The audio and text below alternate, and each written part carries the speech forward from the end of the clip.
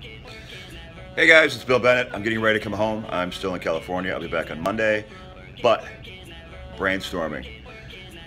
This is not for beginners. If you're a beginner, don't worry. I have something really big coming for you guys. This is for those of us who need to lose five to 10 pounds in two weeks, who've hit a plateau and bathing suit season is among us. March 28th, two weeks, $22.